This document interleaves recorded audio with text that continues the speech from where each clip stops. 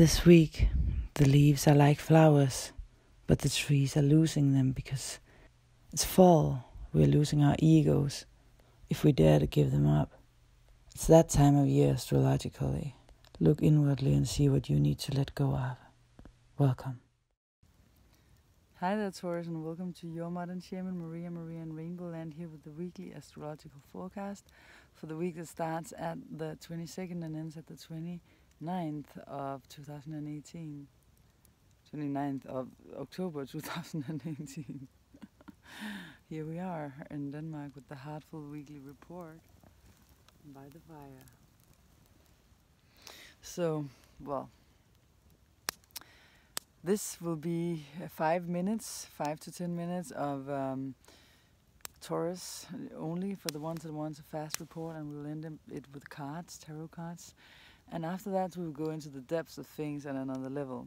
So, for the ones that want a fast version, this is section one. If you want to watch the whole program, then you will also see very beautiful nature uh, around where we live, uh, around our house here and uh, above our house because I'm flying with a drone and the beautiful colors right now in Denmark since um, the leaves are falling off the trees. So everything is changing. It's another spring they call it with the flowers another with the leaves being like oh, everything is blossoming again the, because of the leaves looks like flowers um, the colors are so beautiful so this week, Taurus, it's all about uh, relationships. Everything has now moved into your seventh house uh, of relationships with others, other people, and yeah, it's really on. Um, and you're known to be the uh, stable sign of the zodiac, the one that we can always count upon, etc. Uh, but with Uranus in your sign, you're definitely being more uh, restless than usual.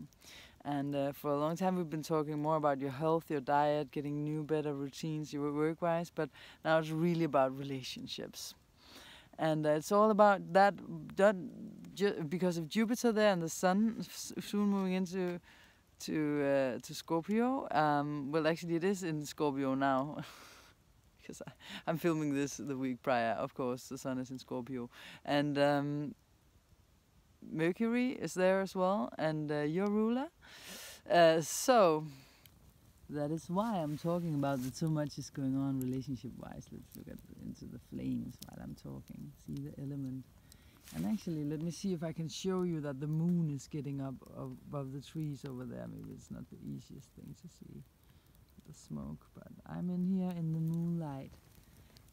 Dancing in the moonlight.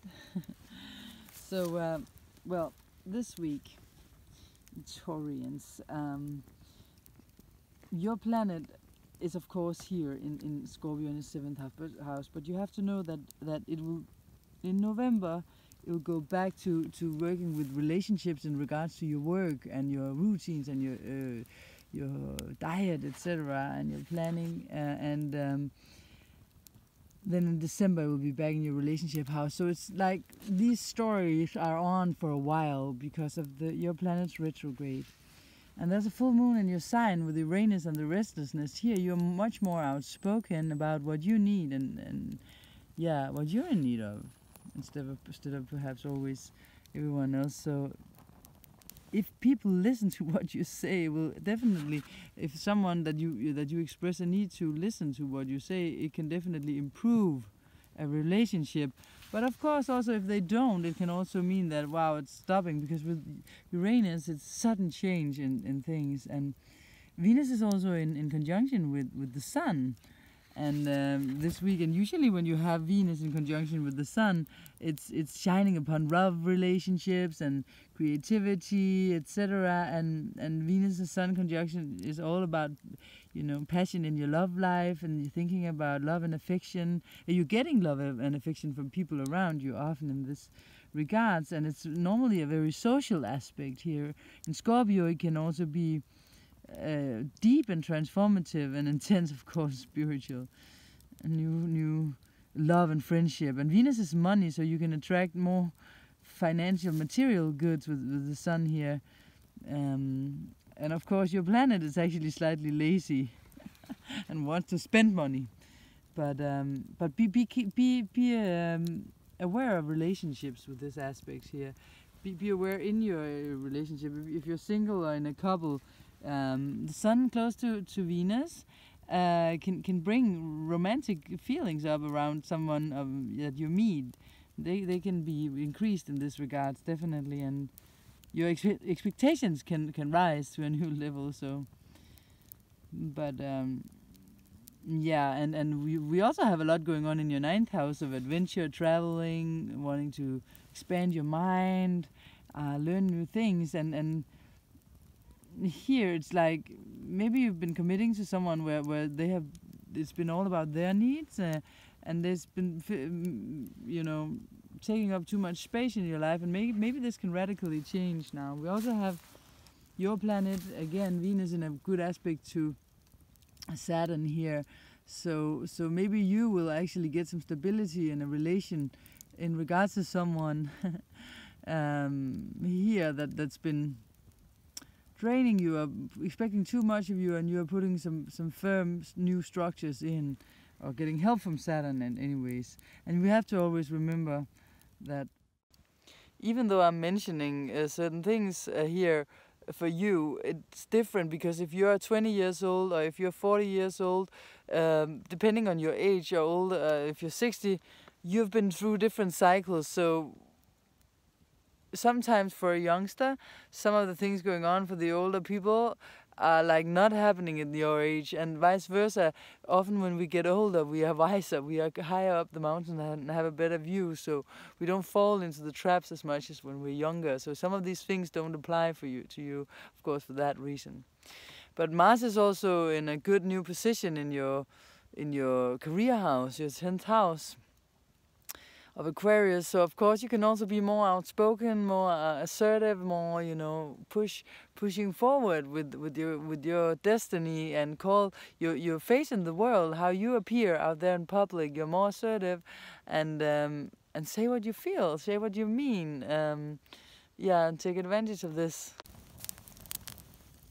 So um, yeah, with Uranus, the radical Uranus that makes you restless and wants to shake things up in your sign, your first house of your identity, who you are, in a square uh, to the nodal axis with, with the north node of the moon, which is the point of your destiny in Leo, where it's about your emotional well-being and your how you feel um, inside, how your inner child is treated, and how it can express itself um, in a creative way and and the south node is where, where your work life is your career your goal your your your your, face in the world um, and and how you interact with people at large these things can in this T-square with Uranus in, in the in the beginning of your sign is going to give you a pre-taste of what will happen in your life from the 6th of March uh, 2019 uh, when or is it the 7th of March uh, 2019 when when dramatic dramatical changes can happen here.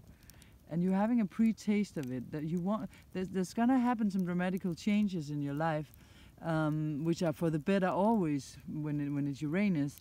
Um, and it, because Uranus is gonna stay there till I think it's 2026 um, yeah it is. It, it definitely is. So yeah, you'll have this kind of restlessness because it's there in the beginning of your sign, especially for the Taurians who are born at the end of April. Uh, they will feel it the most. Um, the second part of April, you'll feel it the most. For the other Taurus, uh, Taurians, it will be more later on. Um, but this restlessness, you want, you can feel that there's something coming. You can feel that there's something building. You're having a sense of that something is going to change, and and and this will of course still give you a little bit of fear or what is it has it something to do with me with my children with my partner with my work with my home with my uh, situation in, in general. Uh, it, it, it, brings some instability and security in and it will actually um, uh, also meet up again when it's in in um, when the nodes are in because the nodes nodal axis change in December November December into into cancer and and and this will make the situation uh, more about also your communication and and how you and the relationships to your sisters and brothers and just your your everyday environment. Um, And we have to remember that even though this feels radical with Uranus here and that something is big is going to change, we have to trust the process because Uranus only goes for where there's tension that needs to be resolved on this path towards um, enlightenment or realization, uh, reality, whatever you want to call it. We have to trust the process. Either we trust in God or the process or in life or whatever we want to call it. Or if we doubt, we have to remember that our hearts have closed. Because when we are in a closed or an open heart position where we allow the universal life force, God, whatever you want to call it, in, we know that it's all like it's supposed to be, and then our process becomes much more smooth. So I always advise people to have a meditational practice, have a practice where you don't think about things, but you go into the trust stage instead of and accepting the now just as it is right now, instead of battling it. So now we're gonna go over to the cards of the week. And remember, don't follow trends, follow your heart. Hi there, Taurus again. Uh, this is uh, gonna be the card of the week for you guys first with the astrology cards, and then uh, with the usual, the normal standard tarot cards. The astrology card of the week for the Taurus is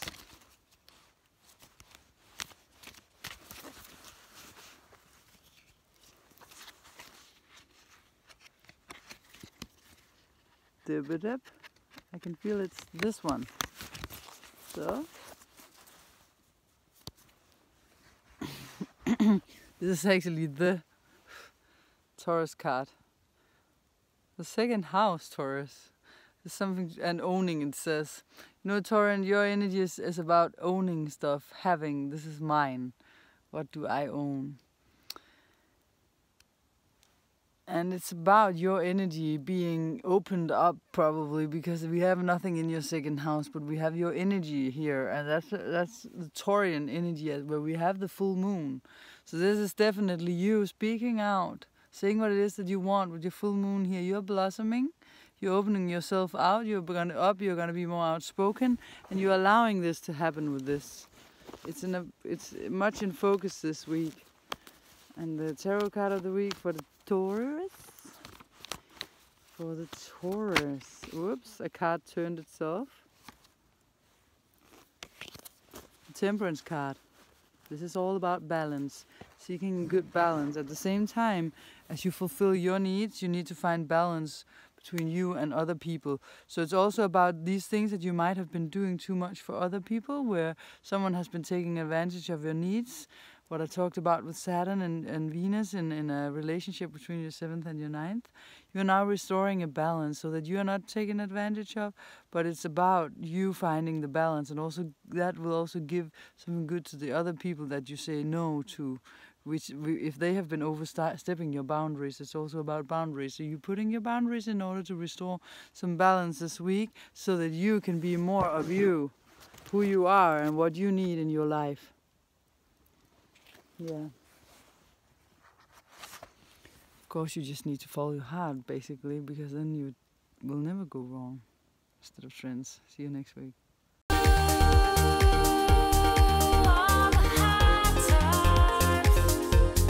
Be still. Quiet your mind.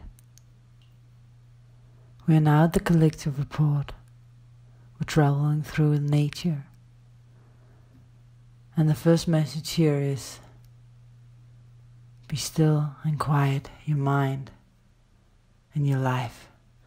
This is more important than anything else that I say in any report. Be so still that you can touch your heart and hear your heart beat. Tick, tick, tick.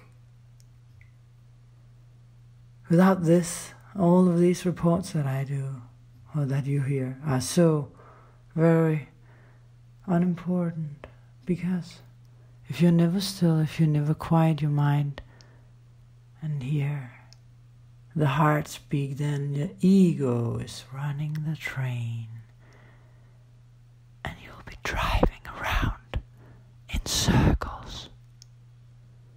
if you want to get off the train and come to another level. Time is up now to find your way into silence and stillness and believe in that you dare let go of your ego and hear and listen to the needs of your higher self. Do you dare to become a servant for something bigger than the ego? Something as a part of you already know the road to, towards? Or are success and control and all your learned programming is more important to you? Have you even discovered who you are or what your calling is? Can you feel this consciously? Ah, oh, there are too much clutter and dirt. If there is too much clutter and dirt, you know what step one will be now. To try to don't identify yourself with the noisy voices inside a certain place which is overruling anything good, anyways. It's not giving you any joy, and it's overruling anything inside of you. And this part of you cannot forgive. This part of you will just hold on in order to get drama, get you in the front seat, get you in the front of everything you do. You are the loving, forgiving you. Someone who doesn't hold on. Someone who says no to negative manipulation, violence, and power. Who, whenever confronted, just leaves without a fight, quietly and peacefully, if it's not right for you to be there. And if we cannot say no and stay in this peaceful, quiet ego state where the ego is quiet and you just hear the voice of your heart when you speak, you hear that you're soft in your voice, you hear that there's nothing inside of you that judges the other person. You feel your heart. You feel that you can speak without wanting something from someone else. Then your ego is away. And if someone's overstepping your boundaries, you just say no peacefully with the same voice and you walk away. If you start fighting, you will know that it's no longer you, it's your ego that has started to take over again.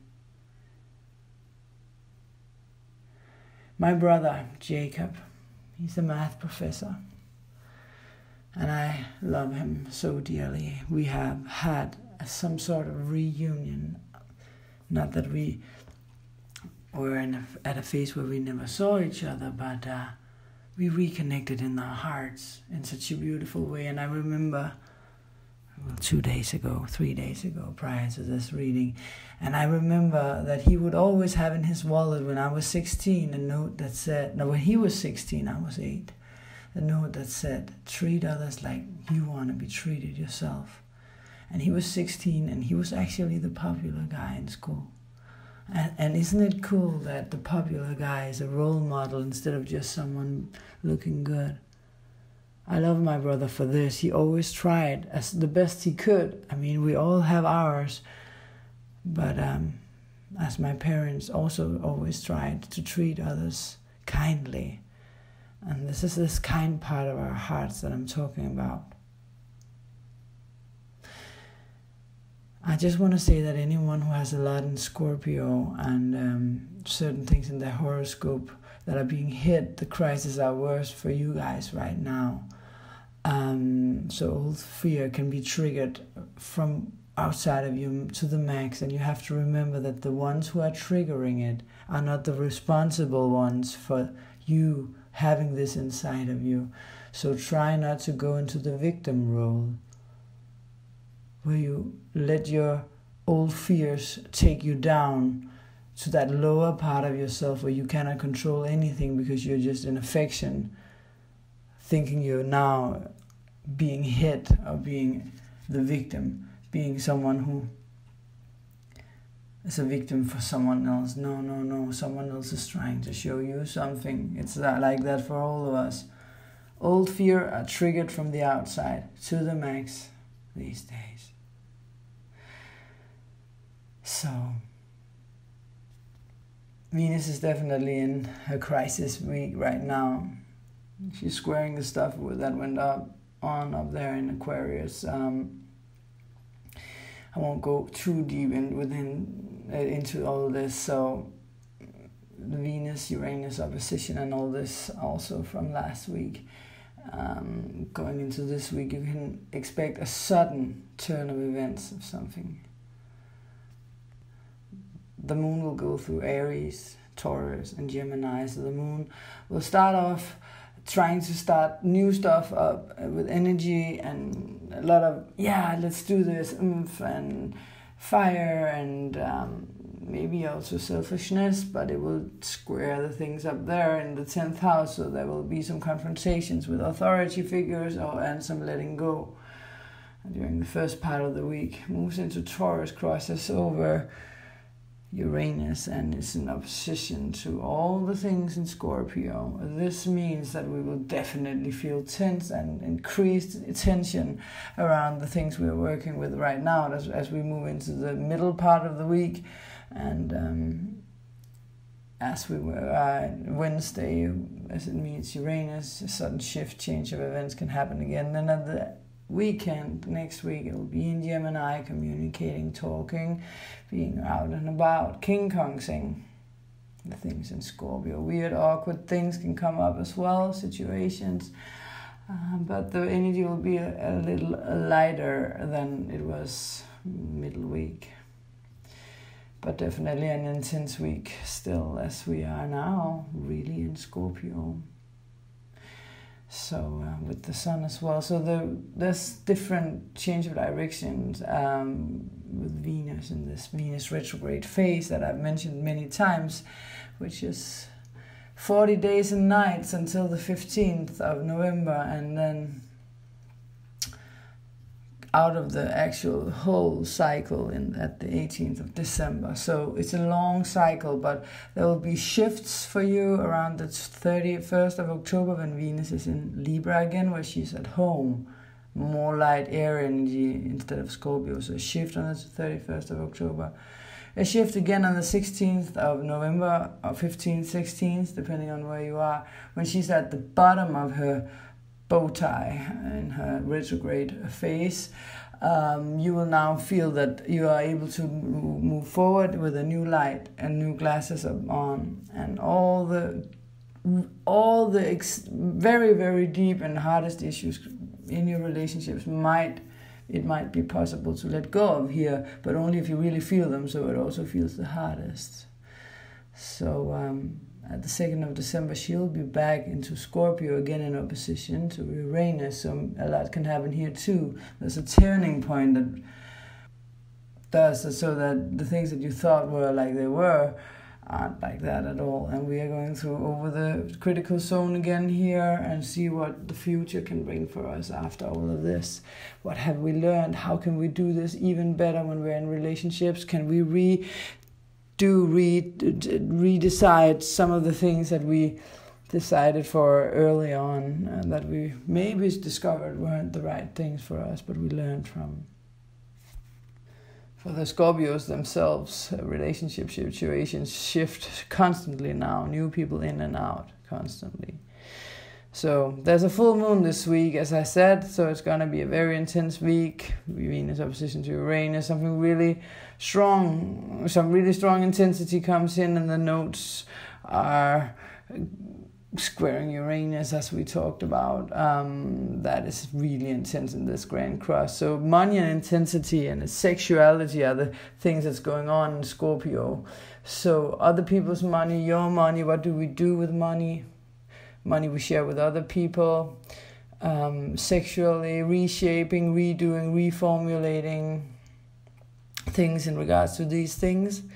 With Venus retrograde here and Jupiter, Mercury is here, Sun is here. So it's all about relationships on a deep level, also the relationship to ourselves. So all water signs are endings, and um, the first six signs in the zodiac are personal signs. They are all about me, I am, I have, I think, I feel, etc.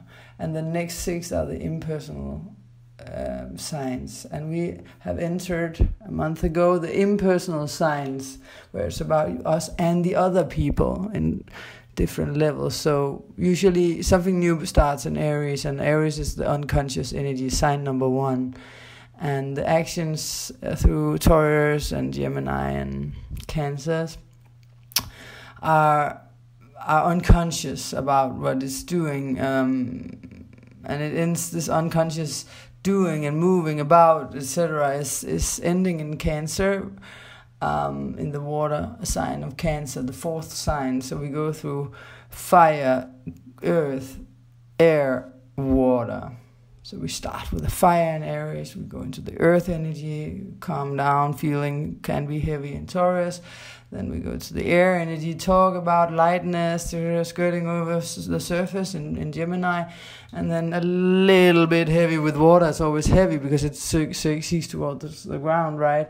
And dies with, is flushed away with the water in Cancer. That was the unconscious energy and actions. And then we'll have a self conscious uh, period with Leo where it starts again with fire and then ideas and going into Vir- uh, Virgo where it's uh, earth energy grounding them manifesting materializing the ideas there and then the self-consciousness moves into uh, Libra uh, and develops in regards to relationships, and then into water again. Libra was also air, talk, you know, being about in a lighter thing, and then going um, into Scorpio, into water signs where we are now killing the self consciousness because we are now in the transpersonal signs and uh, the transpersonal cycle when it starts in, in, in Sagittarius, but we have to kill it first in Scorpio. It's a cycle, and this is how we how we learn and grow on a spiritual and personal level through the zodiac. Um, so everything, Jupiter, Sun, Venus, and Mercury are in the Scorpio. So it's the death of our self-consciousness, and it's really spiritual, mega spiritual, a really mega big spiritual opportunity to ascend, of course. Ascension time, spiritual people, light workers. Let go of your ego now, and your hurt, and your wounds, and your blaming others. It's your past you're letting go of. Don't kill the messengers, please. All of our challenges here as spiritual uh, uh, beings are often our ego. That often are more here in the self-conscious and unconscious part of the first six times times but now we have the chance to really move. So even though we have a higher self and even though we have souls in this whole story and we are um, beings souls in bodies here that usually are just infinite beings in contact with everything with god or whatever and then we are also incarnated in this body. Um, this incarnation, life after life. And in this body, we have an ego that loves drama. And this ego is making the big show, which does that we are effing around in our minds.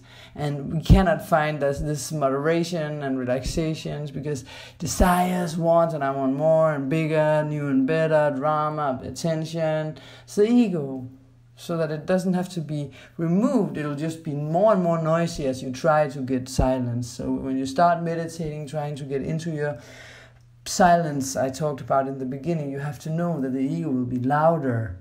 Don't be fooled by it. Stop being the victim of your ego, of other people feeling like it. See that you create your reality. Okay, there's a reason why people do towards you what they do. Find out why because you're not in your heart. Always is because you're not in your trust position of the heart.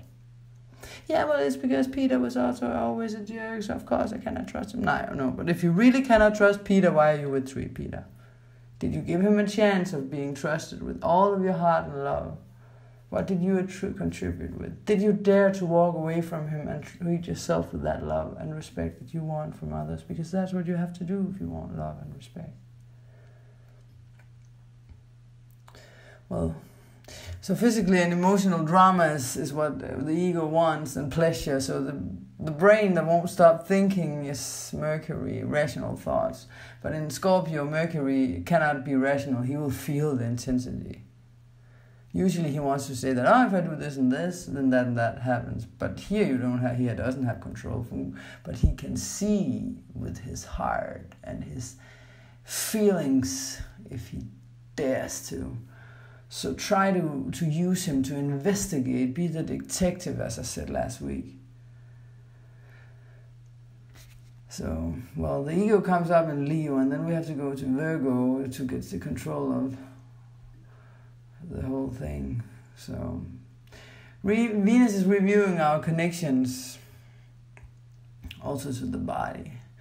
Venus, and, and actually, um, Venus is, is the earthly love, but we also have a more spiritual love with Neptune, and Neptune is the higher octave of Venus. So, when Venus goes direct, you'll be coming into a beautiful trine with Neptune. Um, well, it will still be a while, and Jupiter is going through Scorpio, and he will um, come into Grand Trine with Chiron. So there will be beautiful, higher spiritual love waiting for us after this ascension process. Don't hold your breath, but know deep inside your heart that everything will be solved and healed if you dare to let go of your need to control.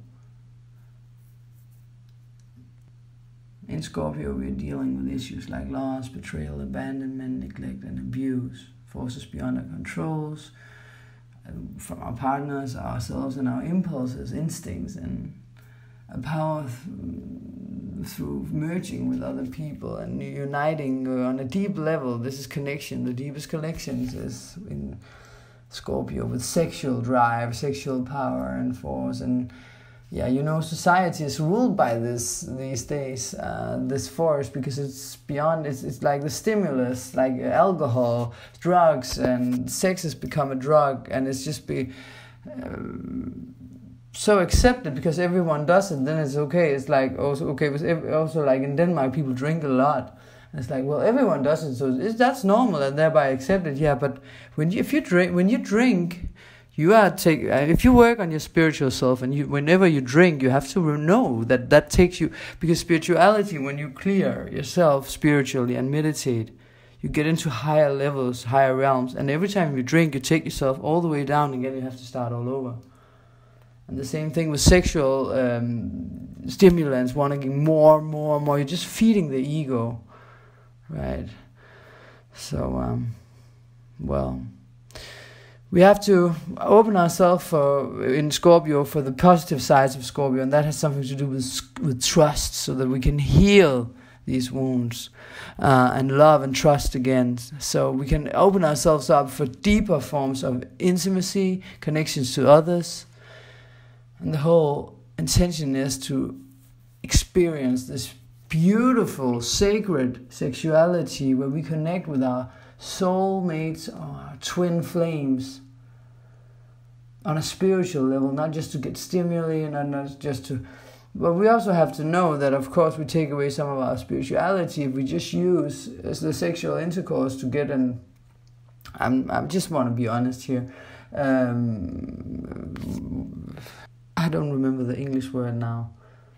When when we get release, you know, males or females um, our spirituality also drops. Uh, so if this is what we want and we do this after two minutes just to get the release, yeah, well, boom, the energy goes out. We have to know that. But if we use this thing we have with each other to go deeper, deeper, deeper within, then it's something else. We can experience this beautiful sacred sexuality and yeah, I mean, the society stimulus, stimulus has something to do with something new and exciting eh, with all this Tinder and stuff. But sacred union is about real, lasting stimuli for the soul that we can use in the long run as a soul being, even when we're not here. It's when we can reach deeper in when we are together with our partner instead. But how do we do it? Well, exploring spirituality between us and, and reach new and fresh layers in, in, inside of ourselves instead of always seeking outwards, outwards, outwards as the whole of society is trying to make us. Like this new times relationships, spiritual relationship will be that we be we will stay together and more twin flames in, will incarnate at the same time to to to uh, raise rise up the the vibrational level here um, on the planet, and it's our responsibility to go deeper in as conscious light workers instead of fearing into new relationships, unless it's uh, supposed to happen, of course. But uh, when we know we found the right person, then use the hard times and to to instead take responsibility for ourselves, help each other through the hard times. You know, help each other when when when the ego comes out instead of just always saying, okay, you're not good enough, uh, I don't want you, you have too many errors, then help the soul, goddammit, instead of just escaping and putting more fear into the person. Try to help, then you'll get it back. We get what we give. It's the whole deal. Yeah. So um, soon enough, we'll have Sag, Jupiter and Saturn and expand our consciousness, have fun, explore life on another level. So, where do you get your physical and emotional pleasure from? Last thing today, it was a long report, is that if we really want to love, we have to get let go of the hurt ego and forgive. The more you feed your ego, the more hurt you will get. The more you feed your ego, the louder it shouts. And um, when it wants this and that, in in uh, in uh, you know supermarket and you just give it to it it will just shout louder. And that's why it's good to meditate and find soul peace and find out what you actually came here to do on a soul level. What is your purpose if you can't pinpoint it mentally then go into your heart and feel every day when you walk around am i doing something that makes my heart happy it can just be that you start smiling to other people and spreading love and joy just like that. It's a simple thing. We don't all have to become like this big, great thing. It's just society that says that. Find your path. Maybe your sole purpose is just to put smiles into this world. Don't follow trends, follow your heart. See you next week. Thank you. Namaste.